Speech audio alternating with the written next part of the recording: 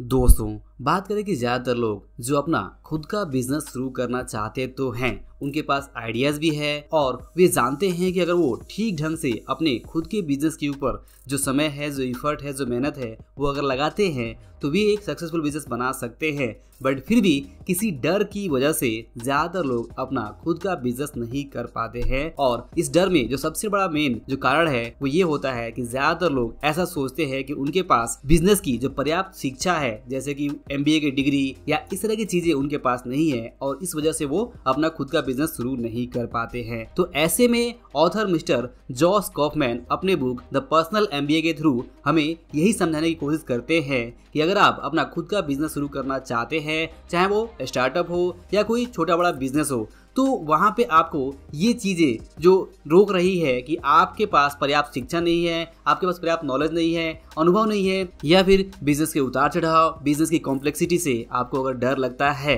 तो यहाँ पे ऑथर कहते हैं कि आप इस डर को दूर कर सकते हैं और इसके लिए आपको कुछ सिंपल बिज़नेस कॉन्सेप्ट को समझने की ज़रूरत होती है। और सबसे अच्छी बात यह है कि आप ये बिज़नेस कॉन्सेप्ट बिना किसी एमबीए स्कूल में जाए हुए भी सीख सकते हैं। तो यहाँ पे अगर आप बिज़नेस स्कूल नहीं गए हुए हैं, आपके पास एमबीए डिग्री नहीं है और आप बिज़नेस शुरू करना चाहते हैं तो ऐसे में ये बुक आपको ज़रूर पढ़नी चाहिए और इस बुक में जो बिज़नेस कॉन्सेप्ट ऑथर ने बताए हुए हैं, उसे आपको ज़रूर सीखना चाहिए, समझना चाहिए। ये आपकी हेल्प कर सकते हैं, आपके इस डर को दूर कर सकते हैं, जो कि आपको बिज़नेस शुरू करने से पहले लगता है। तो दोस्तों, आपकी सुविधा के लिए मैं एक नया वीडियो सीरीज़ शुरू कर रहा हूँ, जिसमें हम इस पर्सनल एमबीए बुक समरी को पूरे डिटेल्स में समझने की कोशिश करेंगे। और आज के इस वीडियो में इस बुक के जो पहला चैप्टर है, जिसमें ऑथर बताते हैं कि आपको ये किताब क्यों पढ़नी चाहिए? Why should you read this book तो यहाँ पे ऑथर सबसे पहले कहते हैं कि ये किताब पढ़ने के पीछे जो सबसे पाँच कारण है, वो यही है कि अगर आप अपना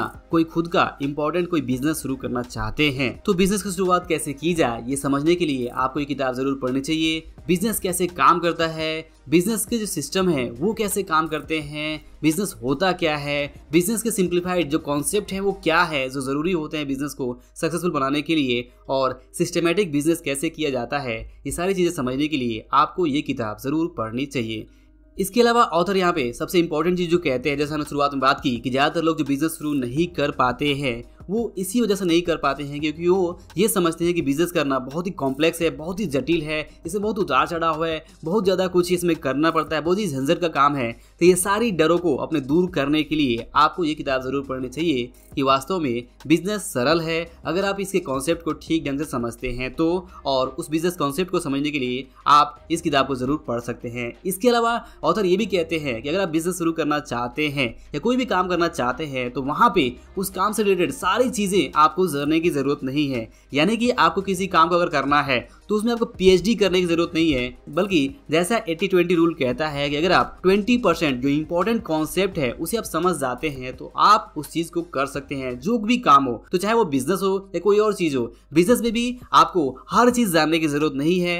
आपको जो इंपॉर्टेंट कॉन्सेप्ट है, वो समझने की ज़रूरत है। और ऑथर इस बुक में वो सारे कॉन्सेप्ट बताते हैं, जो आपको जानने चाहिए, समझने चाहिए। और इसीलिए आपको ये किताब ज़रूर पढ़नी चाहिए। इसके अलावा ऑथर एक राल्फ वाल्डो इमर्शन का कोड मेंशन करते हैं, जिसमें कहते हैं कि as to method there may be a million and then some but principle are few the man who grasps principle can successfully select his own method the man who tries method ignoring principle is sure to have trouble जिसका मतलब ये है कि चाहे business हो या कोई भी दूसरा काम हो, उसे करने के बहुत सारे अलग अलग तरीके हो सकते हैं। हो सकता है लाखों अलग अलग तरीके हो बट बात करें प्रिंसिपल्स की फंडामेंटल्स की तो वो बहुत थोड़े होते हैं। और ये बिज़नेस के ऊपर भी लागू होता है कि अगर आप बिज़नेस भी करना चाहते हैं तो बिज़नेस करने के हज़ारों तरीके भले हो सकते हैं बट जो फंडामेंटल कॉन्सेप्ट होते हैं, वो अगर आप समझते हैं तो आपके लिए चीज़ें आसान हो जाती है। लेकिन अगर आप फंडामेंटल कॉन्सेप्ट को इग्नोर करते हैं तो चाहे आप जिस भी तरीके से बिज़नेस करें, जो भी स्ट्रेटजी यूज़ करें, आपके फेल होने के जो चांसेस हैं, वो बढ़ जाते हैं। तो अगर आप उन बिज़नेस कॉन्सेप्ट को, यहाँ पे फंडामेंटल्स को प्रिंसिपल्स को समझना चाहते हैं, जो कि किसी बिज़नेस को सफल बनाने के ज़रूरी होते हैं तो आपको ये किताब ज़रूर पढ़नी चाहिए। इसके बाद एक और चीज़ जो बिज़नेस शुरू करने के लिए ज़रूरी होता है, वो होता है एक्सपीरियंस का होना तो यहाँ पे अगर आपके पास कोई एक्सपीरियंस नहीं है तो आप इस किताब के साथ शुरुआत कर सकते हैं। किताब पढ़ने में, इस किताब के कॉन्सेप्ट को समझने में कोई भी नुकसान नहीं है। आप इस किताब से वो सारे कॉन्सेप्ट समझकर वो सारे एक्सपीरियंस ले सकते हैं जो कि सफल लोगों ने, सफल बिज़नेस बनाने में यूज़ किया हुआ है। तो अगर आपके पास कोई एक्सपीरियंस नहीं है तो आप इस किताब को शुरुआत कर सकते हैं। इससे आपको ज़रूर एक्सपीरियंस गेन होगा। आपको समझ आएगी अंडरस्टैंडिंग आएगी कैसे बिज़नेस वर्क करता है। इसके अलावा इस किताब में आपको हो सकता है कि सारे आंसर ना मिले, सारे जवाब ना मिले। बट जो इंपॉर्टेंट क्वेश्चन है, जो आपके मन में जो महत्वपूर्ण सवाल है, जो कि किसी बिज़नेस को शुरू करने से पहले होता है, वो सवालों के जवाब आपको ज़रूर मिल सकते हैं। और आप pas. क्वेश्चन रेज कर सकते हैं और सही क्वेश्चन पूछने पे सही आंसर मिल जाता है। अगर आप ढूंढेंगे तो जवाब मिल जाता है। इसलिए सही क्वेश्चन कैसे पूछा जाता है बिज़नेस में राइट क्वेश्चन क्या है, वो समझने के लिए भी आपको ये किताब ज़रूर पढ़नी चाहिए। इसके अलावा ऑथर यहाँ पे मेंटल मॉडल्स के ऊपर बात करते हैं, ना कि मेथड्स के ऊपर। जैसा हमने पहले कहा कि तरीकों के ऊपर नहीं, बल्कि जो मॉडल्स हैं, जो कॉन्सेप्ट है, वो इम्पोर्टेंट है। और जैसा चार्ली मंगेर या वारन बफे हमेशा कहते हैं कि भले ही चार्ली मंगेर ने कभी बिज़नेस की पढ़ाई नहीं की बट उन्होंने जो मेंटल मॉडल्स डेवलप किए हुए हैं बिज़नेस के लिए उससे वो किसी बिज़नेस को 60 सेकंड के अंदर समझ जाते हैं कि उस बिज़नेस में सफल होने के चांसेस कितने हैं और असफल होने के चांसेस कितने हैं। इसके अलावा आप अगर बिज़नेस शुरू करना चाहते हैं तो आप इस बुक को as a crash business course भी समझ सकते हैं, जो कि आप किताब पढ़कर वो सारी जानकारी हासिल कर सकते हैं, जो कि किसी बिज़नेस को सफल बनाने के लिए बहुत ज़्यादा इंपॉर्टेंट है। तो आई होप कि अब आपके पास इनफ रीजन है, जिसके कारण आपको किताब ज़रूर पढ़नी चाहिए। तो आगे आने वाले वीडियोज़ में मैं इस किताब से जो भी इंपॉर्टेंट कॉन्सेप्ट है, उसके बारे में एक एक वीडियो बनाकर डिटेल में आपसे डिस्कस करूँगा। तो आपको ये सीरीज़ कैसी लगी? आप इस सीरीज़ के बारे में क्या सोचते हैं? आप मुझे कमेंट करके बता सकते हैं। इस वीडियो में बस इतना ही। मिलते हैं वीडियो में। तब तक के लिए आपको इस वीडियो को पूरा देखने के लिए और हमारे साथ जुड़े रहने आपका दिल से बहुत बहुत धन्यवाद।